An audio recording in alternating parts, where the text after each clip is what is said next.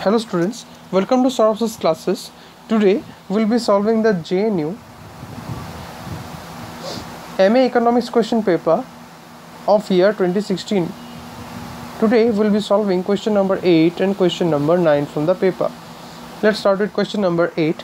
In question number 8, in the following expression y square plus 4 is equal to x square minus 9, dy dx would be options are xy, x by y, x plus y and x minus y so it has been given that y square plus 4 is equal to x square minus 9 so this implies that twice of y dy is equal to twice of x dx. So if we write dy by dx will be equal to x by y which is the option b.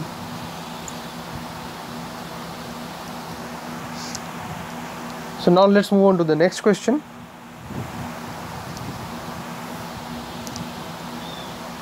The next question is question number 9. In question number 9, we have to find out the value of the limit x square minus a by x minus a as x tends to a. The options are 0, a, a square and twice of a. So as you can see that if we put, so what we can write over here, it is given as limit x square minus a square by x minus a as limit x tends to a. So this can be written as limit x tends to a x minus a into x plus a upon x minus a. So x minus a and x minus a will cancel out and this will give us the limit x tends to a x plus a. Now if we put x equal to a then this gives us twice of a which is the option d.